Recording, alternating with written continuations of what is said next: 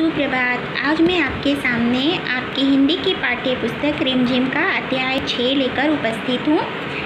यह एक कविता है जिसका नाम है नाव बनाओ नाव बनाओ और इसके कवि श्री हरिकृष्ण दास गुप्त जी हैं। इस कविता में, कवि ने बच्चों के मन की बात कही है।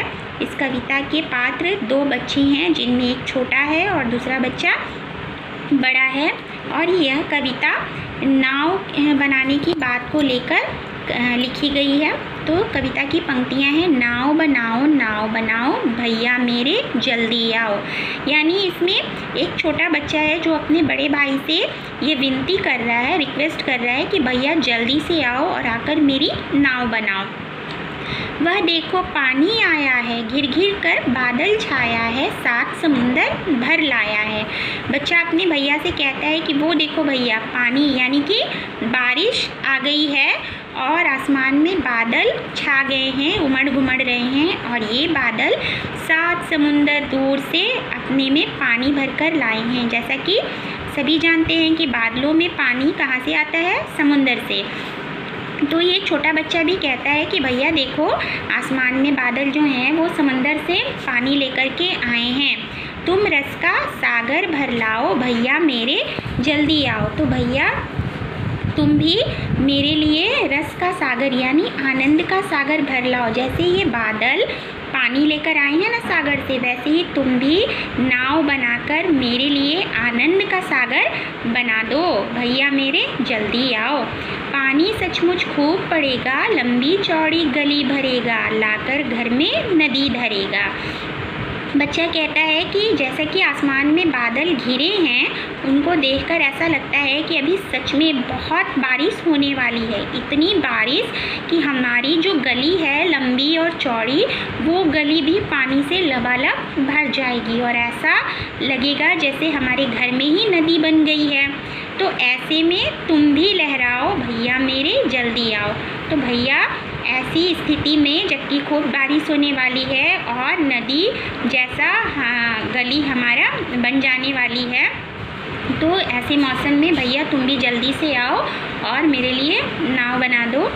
गुल्लक भारी अपनी खोलो हल्की मेरी नहीं टटोलो पैसे नए नए ही रोलो। तो बच्चा कहता है कि भैया मुझे कोई साधारण सी नाव नहीं चाहिए। मुझे एकदम ख़ास नाव चाहिए और ख़ास नाव बनाने के लिए पैसों की ज़रूरत होगी और पैसे की कमी हमारी गुल्लक पूरी करेगी। तो आ, अपनी भैया तुम अपनी गुल्लक खोलो क्योंकि तुम्हारी गुल्लक भारी है यानी कि उसमें ज़्यादा पैसे हैं। हल्की मेरी नहीं टटोलो तुम मेरी गुल्लक को मत टटोलो यानी मत छुओ क्योंकि मेरी गुल्लक हल्की है।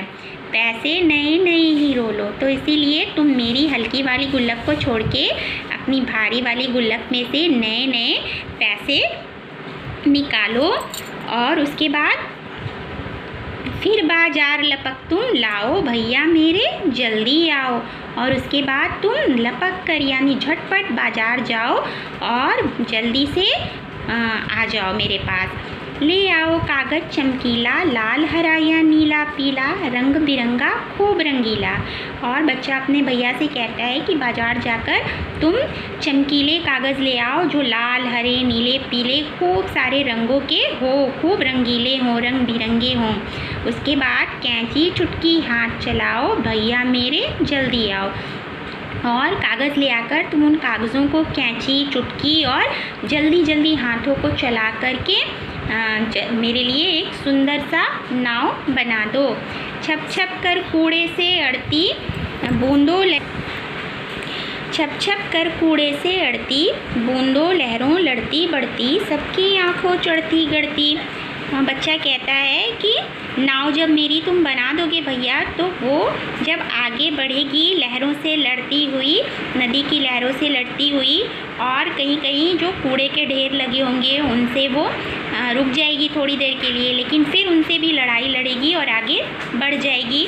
सबकी आँखों में चढ़ती गढ़ती और मेरी नाव सबकी आँखों में फिर गड़ने लगेगी, सबकी आँखों में चढ़ने लगेगी, यानी सबको मेरी नाव अपनी ओर आकर्षित करने लगेगी। नाव, तैरा, मुझको हरसाओ, भैया मेरी, जल्दी आओ। तो भैया प्लीज़ मेरी ये नाव को तैरा दो बनाकर, ताकि मुझे खुशी हो जाए। तो मुझे मेरी नाव को बनाकर खुशी प्रदान करो। क्या कहते क्या मेरे? क्या बस का? क्यों? तब फिर यह किसके बस का? खोट सभी है, बस आलस का।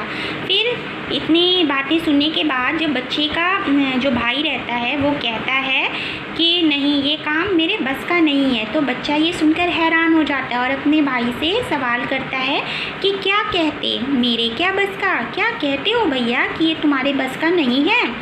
क्यों? तब ये फिर किसके बस का? और वो अपने भाई से ये सवाल करता है कि अगर ये तुम्हारे बस का नहीं है तो फिर किसके बस का है? खोट सभी है, बस आलस का। और फिर उस बच्चे को ये बात ही समझ में आ जाती है कि उसके भाई की इसमें कोई गलती नहीं है। गलती असल में आलस से की है है ना?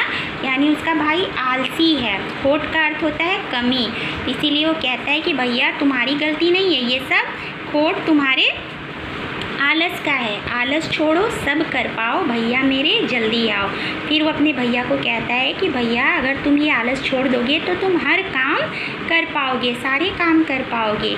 तो भैया मेरे, जल्दी आओ। यानी भैया, ये आलस को छोड़कर तुम जल्दी आओ और जल्दी से मेरी नाव बना दो। तो इस तरह इस कविता में दो बच्चों की, मन की बात के द्वारा कवि ने एक बहुत बड़ा संदेश भी दिया है कि अगर हम सभी आलस को छोड़ दें तो कोई भी काम संसार में हमारे लिए मुश्किल नहीं होगा। तो हमें आलस को त्याग कर हर काम को करने की कोशिश करनी चाहिए और इससे हमें सफलता ज़रूर मिलेगी। तो ये छोटी सी कविता आशा है आपको बहुत पसंद आई होगी। तो आप इस कविता को ध्यान से पढ़ें और याद करें। इसके अगले भाग में हम इसके प्रश्नोत्तर के साथ फिर उपस्थित होंगे। धन्यवाद।